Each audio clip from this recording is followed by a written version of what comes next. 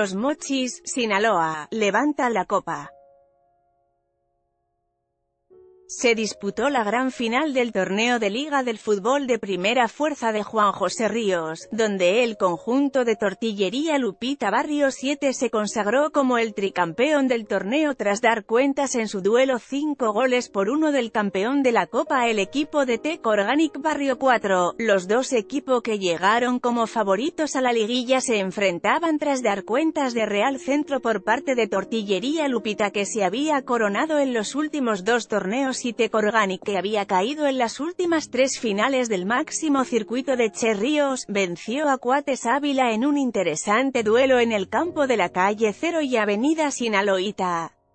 En un cerrado primer tiempo, ambos equipos se metieron en un duelo de toma y daca muy disputado en el medio campo, pero los pupilos de Edel Sánchez lograron capitalizar una oportunidad a su favor para irse arriba en el marcador 1 gol a 0 con tanto de César Carrasco, con el marcador en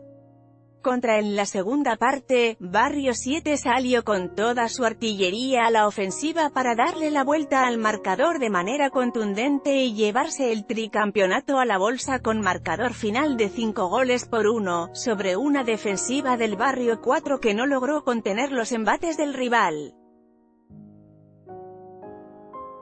Por los comandados por Carlos Cervantes, el delantero Iván Montoya anotó par de goles para llevarse el premio del más valioso, mientras que Ricardo Parra, Ricardo Verdugo y Julio Montoya anotaron un tanto por los campeones.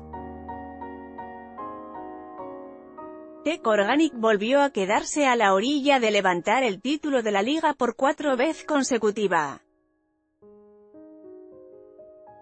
El conjunto de Cuates Ávila se quedó con el trofeo del tercer lugar tras imponerse al equipo de Estelwey Real Centro.